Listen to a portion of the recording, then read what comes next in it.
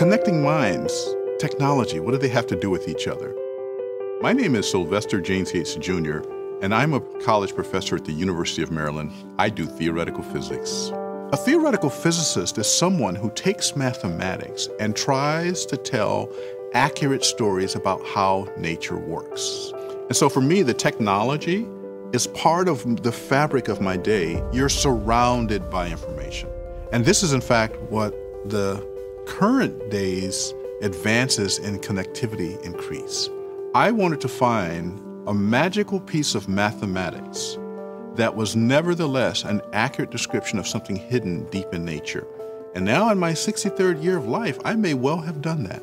We've taken a set of equations that are related to string theory and supersymmetry, and we've created a set of pictures that allow us to manipulate the picture, but simultaneously do both calculus and algebra. We call these pictures adinkras, and in fact, they're my babies. Those are my creations. Along with a colleague of mine, Michael Faux, we found things using this approach with technology that I am absolutely sure I would have never seen with just paper and pencil.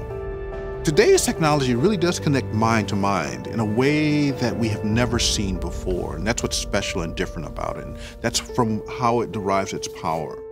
Physics has always been a globalized activity. That means that we have to travel all over the world, and there's a lot of travel in, in my business.